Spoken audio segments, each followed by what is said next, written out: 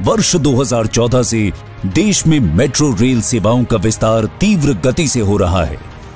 प्रधानमंत्री की ease of living संकल्पना के तहत शहरी जीवन की गुणवत्ता सुधारने और सार्वजनिक परिवहन व्यवस्था को बेहतर करने और प्रदूषण मुक्त यात्रा के साधन के तौर पर मेट्रो की परियोजनाओं को गति दी गई। 2014 के पहले, जहाँ देश के सिर्फ़ पाँच शहरों में मेट्रो की सुविधा थी तो वहीं आज 18 शहरों में मेट्रो का विस्तार हो चुका है। केंद्र और उत्तर प्रदेश की डबल इंजन सरकार के नेतृत्व में देश के सबसे अधिक जनसंख्या वाले राज्य उत्तर प्रदेश में। वर्ष 2017 के बाद से देश के किसी अन्य राज्य की तुलना में सबसे ज़्यादा पाँच शहरों में मेट्रो परियोजनाएँ आगे बढ़ी।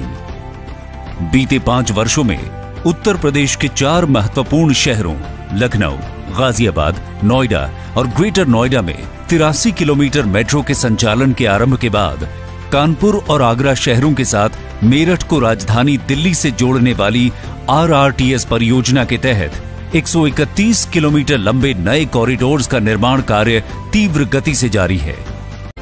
कोविड की दो लहरों की गंभीर चुनौती के बीच भी काम की गति को उत्तर प्रदेश मेट्रो की टीम ने बनाए रखा। प्रायोरिटी कॉरिडोर के सभी नौ station Indian Green Building Council द्वारा प्लैटिनम रेटिंग से प्रमाणित हैं। गुरुदेव चौराहे पर स्थित कानपुर मेट्रो डिपो अत्याधुनिक और विश्व स्तरीय है।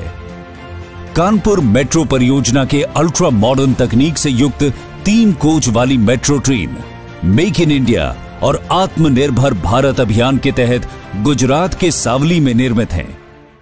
कानपुर वासियों के लिए आज ऐतिहासिक क्षण है। कानपुर में मेट्रो रेल शुरू होने से शहरी परिवहन न सिर्फ़ सुगम और सुरक्षित होगा, बल्कि शहर के प्रदूषण के स्तर में भी कमी आएगी। कानपुर वासियों की जीवन शैली में बदलाव होगा। रोज़गार के अवसर बढ़ेंगे। व्यावसायिक गतिविधियों में तेज़ी आएगी। महिलाओं, बच्चों और दिव्यांग जन को यातायात का सुरक्षित साधन प्राप्त होगा। 2024 तक दोनों कॉरिडोर्स के निर्माण के बाद लगभग 9.4 लाख कानपुर वासियों के मेट्रो के सफ़र का आनंद लेने का अनुमान है। सबसे ज़्यादा परियोजनाओं के साथ उत्तर प्रदेश मेट्रो के मामले में सबसे अग्रणी राज्यों में शामिल होकर मेट्रो प्रदेश बनने की ओर अग्रसर है।